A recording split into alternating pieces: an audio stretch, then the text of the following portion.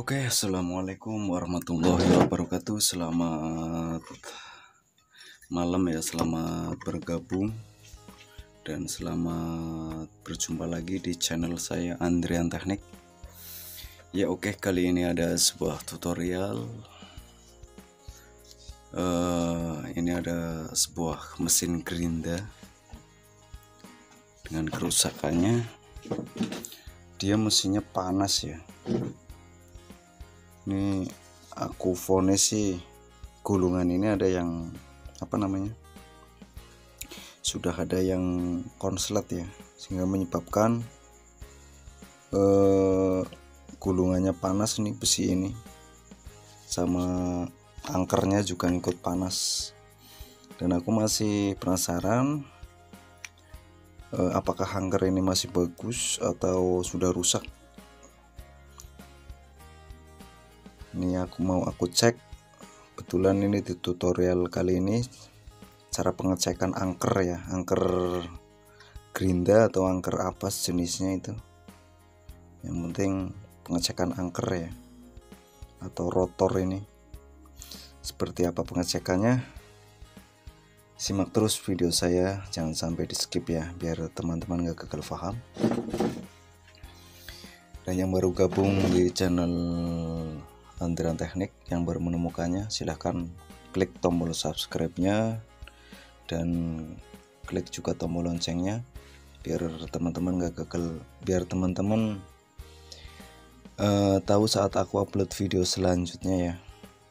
Dan jangan lupa like komen di bawah ya siapa tahu bisa membantu kita sama-sama masih pemula Ya, langsung saja seperti apa cara uh, pengecekannya. Simak terus videonya ya. Oke, kita langsung saja di pengecekan.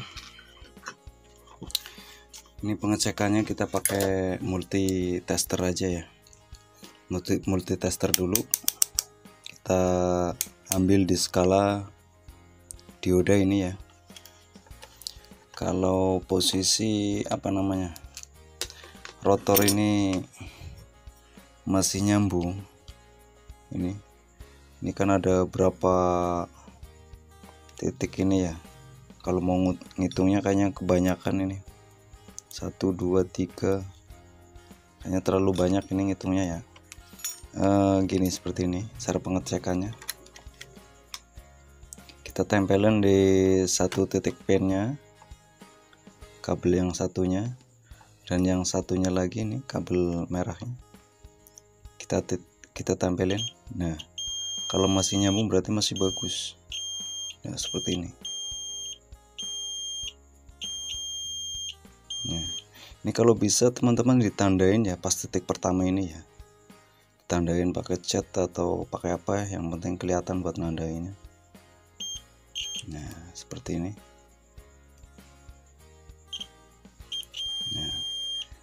nah seperti ini. Kalau agak susah ya agak susah apa namanya pengecekan seperti ini agak ribet. Ini aku ada satu lagi pengecekan yang lebih efektif ya. Kita nggak memakai apa namanya multi tester ya. Ini multi testernya aku pinggirin dulu. Ini cara pengecekannya cukup memakai ini aja ya. E, memakai tegangan 12 volt. Ini cara mengecek ini masih mau muter atau enggaknya ini memakai tegangan 12 volt juga bisa. Tapi kalau di gerinda beda lagi ya. Di mesinnya itu memakai 220 volt langsung ya. Tapi untuk pengecekan bisa juga memakai 12 volt. Jadi cukup kita ambil ininya aja nggak usah sama apa namanya usah sama gulungan ininya.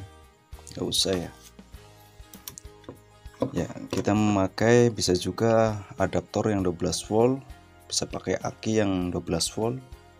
Eh, kebetulan di sini aku nggak ada aki nggak ada adaptor ya ini aku pakainya ini.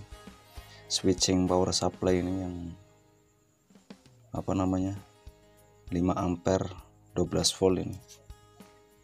Ini Oke kita cek dulu ini untuk output tegangan di switching ini apakah ada?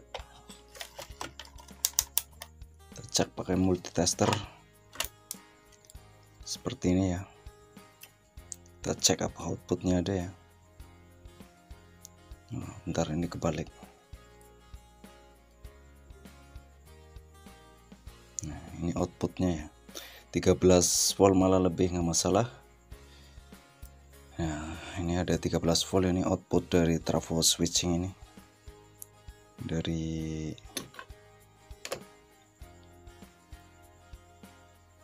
ini ada 12 volt ya. Lebih malah nggak masalah sih. Nah, seperti ini. Ya. Ini sudah ada 12 volt. Terus yang kedua kita sediain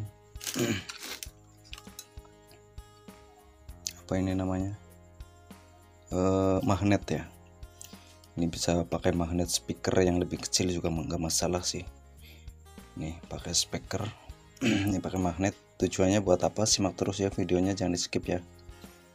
Ini lebih efektif cara mengecek angker atau rotor di mesin gerinda atau di dinamo mesin cuci. Yang itu kan biasanya mesin cuci yang otomatis itu sudah memakai angker seperti ini ya. Atau di blender apa aja yang memakai angker ini. Itu bisa buat pengecekan seperti ini. Oke langsung saja cara pengecekannya. Ya ntar. Ini seperti ini. Ini kabel output ini yang 12 volt ya. Yang 12 volt. Ntar ini aku ganjel pakai apa ini? Susah banget ini. Nah ini aku ganjel seperti ini ya. Nah ini seperti ini ya teman-teman ya. Kita kupas dulu ujung kabel ini nih. Ujung kabel dua ini. Tujuannya buat ini ditempelin di sini di rotornya ya. Lihat ya. Nah ini rotornya sebentar. Ya seperti ini. Ntar. Ganjelnya lepas ini. Ntar.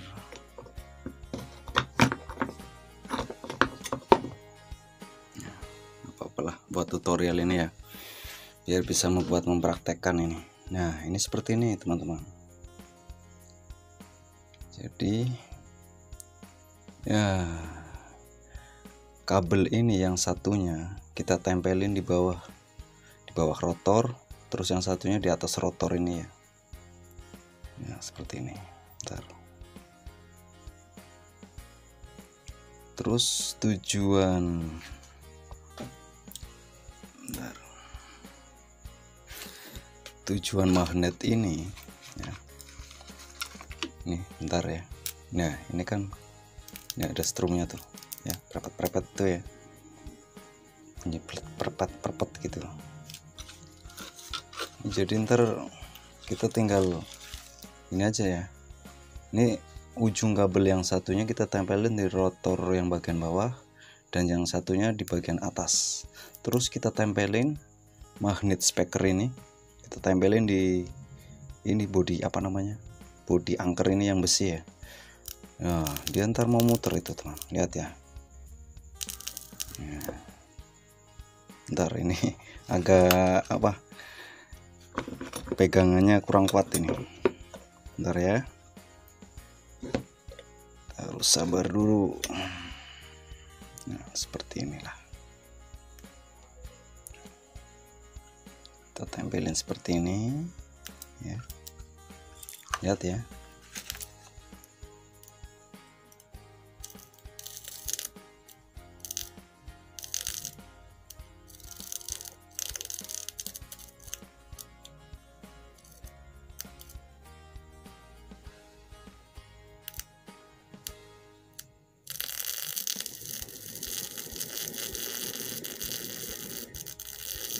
lihat muternya aduh nggak kelihatan ini. Bentar bentar bentar. Maaf.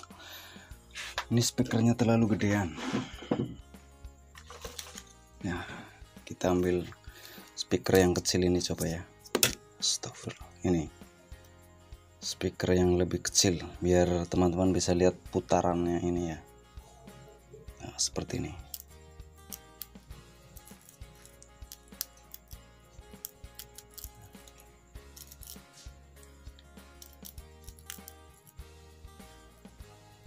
kurang.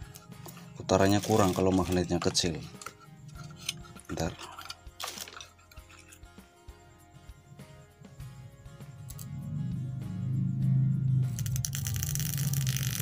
Lihat ya teman-teman ya. Nah, jadi semakin magnetnya dideketin nah seperti ini dia semakin kencang lihat ya. Ya seperti itu teman-teman ya nah seperti itu pengecekannya ya. Jadi aku terinspirasi sama mainan anak-anak dulu ya. Pakai dinamo itu yang kecil. Dia kan memakainya baterai ya. Baterai kurang lebih 6 volan sih. 6 volan dan dia terus memakai dinamo yang ukuran berapa itu? Yang ada magnetnya itu ya itu semacam seperti itu cara pengecekannya. Ini. Jadi lebih efektif lebih gampang ya. Lebih gampang cara pengecekannya. Ini aku cek lagi ya. Aku apa?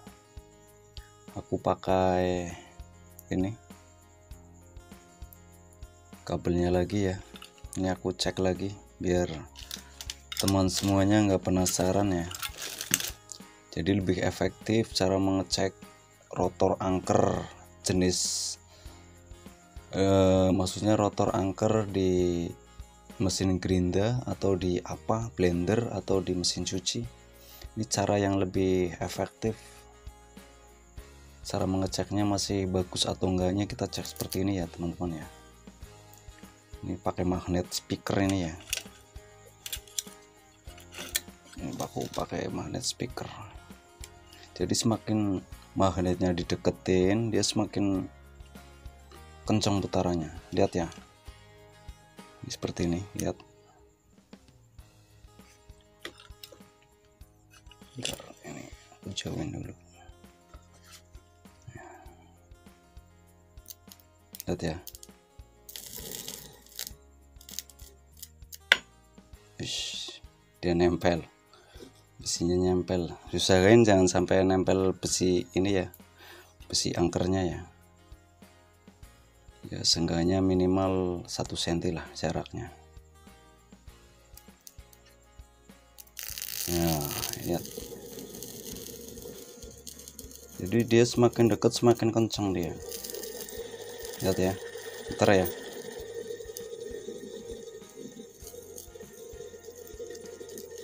makin dekat magnetnya dia semakin kencang putarannya lihat ya oke okay. Ya, jadi seperti itu cara pengecekan rotor atau angker ini ya di mesin gerinda atau di mesin apa aja. Seperti itu aja cara pengecekannya. E, kalau kita ngecek dengan pakai multitester ini mungkin agak sedikit ribet ya. Karena di kaki rotornya ini banyak banget. Kita harus menandain satu-satu kadang kita lupa. Jadi lebih bagusnya ya seperti itu pengecekannya. Seperti apa namanya seperti saya tadi itu memakai adaptor. 12 volt bisa pakai aki 12 volt bisa. Masalahnya kalau di Girinda aslinya ini kan dia memakai karbon brush ya. Pakai spool. Dia tegangannya 220 volt jadi kita cuman buat pengecekan memakai 12 volt juga bisa. Kita main magnet yang lebih besar tadi udah lihat ya. Pakai magnet yang kecil ini speaker kecil dia nggak mau bergerak dia. Harus pakai magnet yang lebih gede lagi. Oke? Jadi sampai di sini paham ya cara pengecekan angker atau rotor. Lebih efektif lebih akurat itu pengecekannya seperti itu pakai adaptor 12 volt bisa pakai trafo switching seperti ini 12 volt bisa pakai aki juga bisa lah. Dan juga pakai ini magnet. Pakai speaker ini magnet. Jadi lebih efektif dan lebih apa nggak penasaran. Masalahnya ini kalau digulung lagi ini lilitannya udah susah ini harus bongkar lem-lem ini juga terlalu lama ya. Jadi biar kita nggak sia-sia masih penasaran kita cek aja seperti itu. Lebih akurat ya lebih bagus. Ya oke. Jadi seperti itu cara pengecekan angker atau rotor di mesin gerinda atau mesin apa aja yang memakai seperti itu.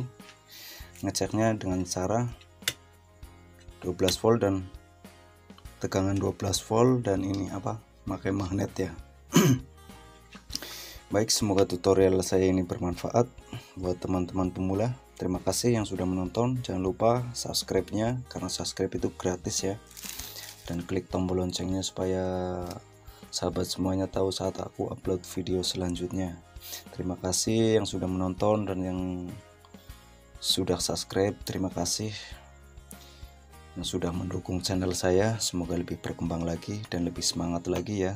Saat uh, aku mengupload video-video tutorial khususnya buat tutorial-tutorial di bidang elektronik ya. Mudah-mudahan bisa membantu buat semuanya. Tuser-tuser pemula seperti saya masih belajar. Kita sama-sama belajar di sini oke? Okay? ya cukup sekian dulu hmm, malam selamat malam selamat beristirahat. Semoga sukses semuanya buat sahabat-sahabat semuanya. Terima kasih aku ucapkan assalamualaikum warahmatullahi wabarakatuh